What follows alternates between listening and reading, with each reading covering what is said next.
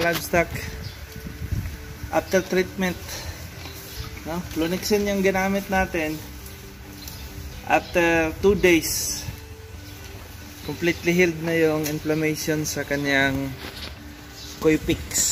So yan no? so completely healed. So salamat sa Flunibet Flunibet talaga. Maaasahan.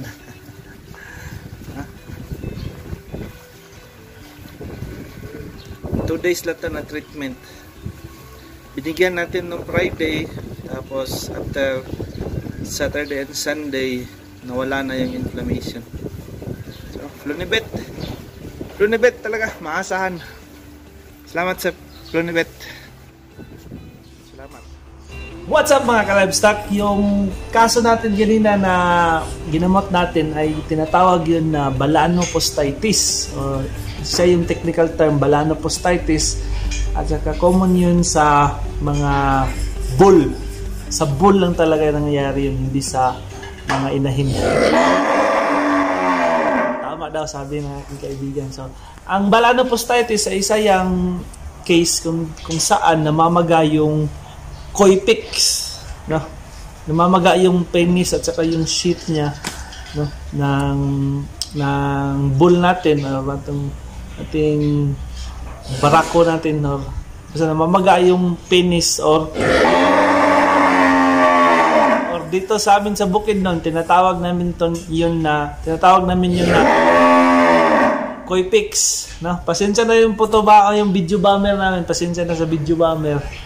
So, common yun sa mga bull na lalo na pag nakalawlaw masyado yung penis nila. Kasi ang instance yan sa pastuhan o sa damuhan. Lang eh, nagbidyo ka ba eh sa sa mga, yung mga damuhan na matataas yung paglawlaw yung penis nila nasasagi sa mga damot saka nakaka nai-irritate yung penis nila at saka yun, nangyayari, nag-inflame. So, isang criteria talaga para magpili kayo ng magandang breeder, magandang bull, ay hindi, hindi masyadong nakalawlaw yung, yung penis para hindi makasagi sa damo, sa lupa, iwas infection at hindi rin masyadong mababa ka, ma, ma, maikli kasi hindi rin siya effective na mag-breed. No? So, isa talagang criteria no, na tamang-tama lang talaga ang lawlaw ng penis. Huwag masyadong mataas kasi sumasayad sa lupa. Huwag masyadong maikli kasi yung efficiency sa breeding maapektuhan. Yung tama lang talaga. Parang dyan sa may area ng, ng joint nila sa paa. Dyan lang. Saka, talagang criteria para, para magpili kayo ng breeder. No, so, ginawa natin gamot, Flunixin lang, Flunibet. No? Shout out pala sa sponsor namin, yung Flunibet.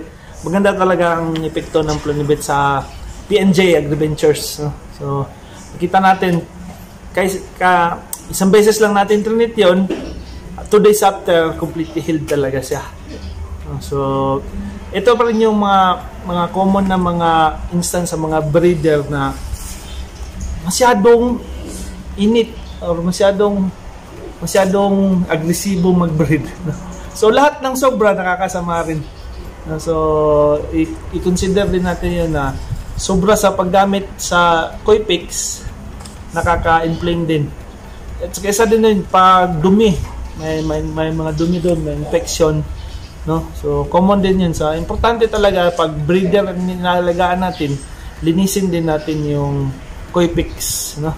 Kasi lahat ng lahat ng dumi pag nakapasok dun sa sheet sa preputial sheet na incubator isa rin yung isa rin yung isa rin dahilan na mag-inflame at pag pinabayaan natin yon masisira at masisira yung penis no? a male that has no penis is a useless male when it comes to breeding so nagapan natin ng maigi no? so yun lang yung case natin so, shout out kami sa mga mga subscribers namin sa sa Saudi, sa South Korea, sa US, sa India, sa Pakistan, saka sa all over the globe, no? So, shoutout sa inyo. Salamat sa subscription. Sa- Salamat sa subscription. And kung ano pa yung topic na gusto nyong i-tackle natin, i-discuss yun natin, comment nyo sa boss. Sa baba pala, comment nyo sa baba. YouTube channel, isa tayong discussion channel. Ha? So, feel free to message us, to comment us. And para talaga to sa awareness sa lalo na sa pagbabaka sa pagla-live start natin. So, ito si Doc Omar. Sama ko ulit yung yung cowboy resident researcher. Um, Ha? So, shout out. um, shout out to my friend from India, Sana. Hello. Just watch this video and enjoy. I I know you will enjoy this because you're a vet. That's all.